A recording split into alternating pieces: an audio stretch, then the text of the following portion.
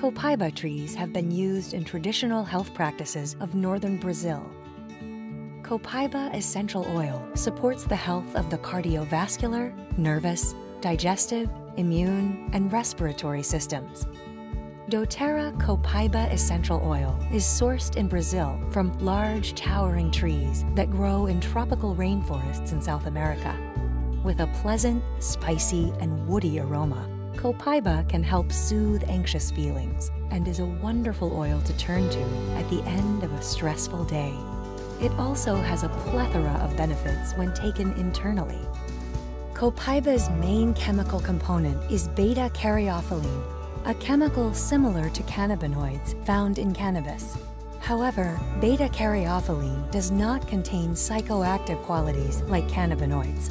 Beta caryophyllene may protect nerve cells and may also support the cardiovascular and immune systems.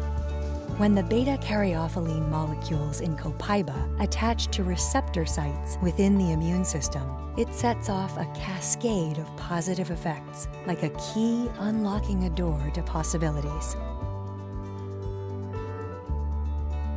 You can take one to two drops of copaiba in a capsule morning and night, or take drops under the tongue. For increased cellular support, combine copaiba with frankincense.